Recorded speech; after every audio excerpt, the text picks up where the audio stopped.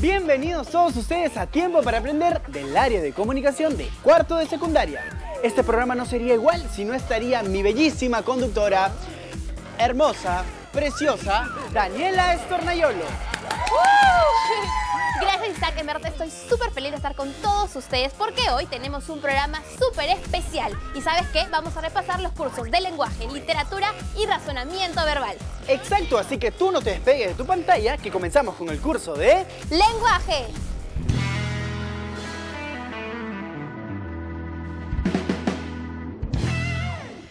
Isaac, Isaac, Isaac, me han estafado. ¿Quién te estafó? Mira, es que estaba leyendo un libro y ahí había una palabra que yo no entendía. Entonces me compré un diccionario para saber su significado y no está. No está. No. A ver, a ver, dime la palabra. Inti. Inti. Daniela, este diccionario es de español. ¿Qué? Pero yo nunca lo he visto en mi clase de inglés. Lo que pasa es que no es ni inglés ni español, es quechua. Ah, quechua. Qué despistada que soy. Ah, no, no, no, ya me acordé, ya me acordé. Inti es el dios de los incas, ¿no? Lo he visto en mi curso de historia. Exacto. Lo que pasa es que esta lengua quechua, con el aymara y las demás lenguas amazónicas, se unen con el español. Como lenguas oficiales del Perú. Exacto, así que vamos a ver el siguiente video.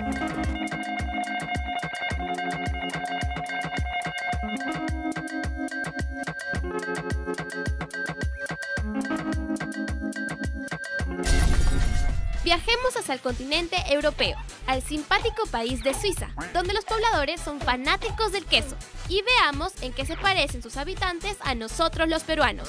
De hecho, que en su vestimenta típica o música no hay mucha similitud, pero sí en la forma de comunicarse. Pero nosotros no hablamos suizo.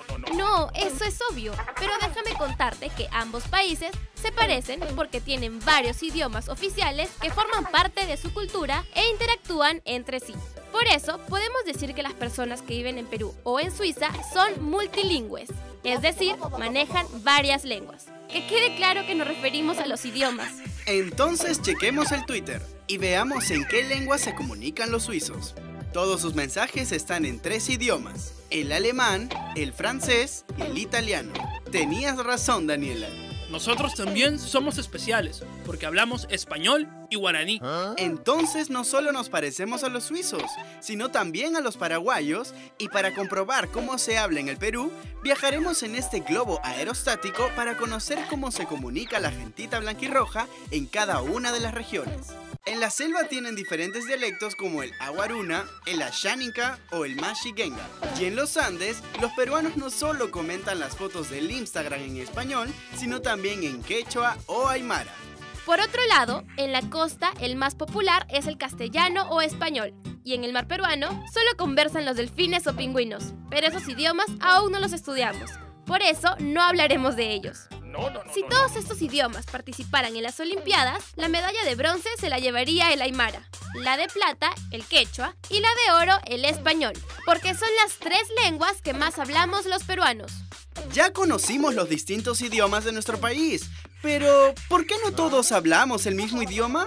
Si no tienes ni idea, tranqui, porque la respuesta está hace 6.000 años atrás, cuando nuestras culturas preincaicas la pasaban muy bien haciendo unas cerámicas locasas y unos telares mostrazos que hoy en día son lo más visto en los museos de nuestro país.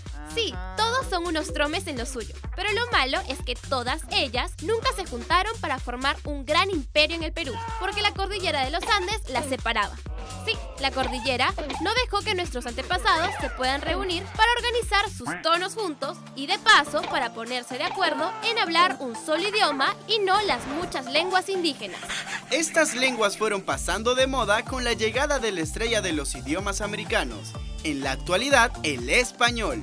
Pero demos las gracias a estos señores, los cronistas del siglo XV y XVI, porque ellos nos datearon que había muchas más lenguas como el yunga, puquina, mochica o cuyi. Las lenguas más fuertes y más difundidas siguen formando parte de nuestra cultura y lenguaje. Es por eso que resulta casi imposible dejarlas de lado para utilizar un idioma único. Además, no es necesario porque se llevan súper bien y hasta se siguen en Twitter.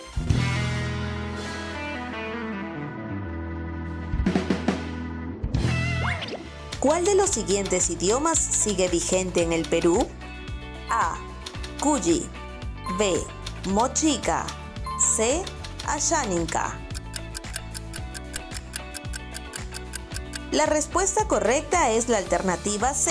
El idioma Shaninka tiene actualmente cerca de 25.000 hablantes distribuidos en la región geográfica denominada Yungas o Yunga.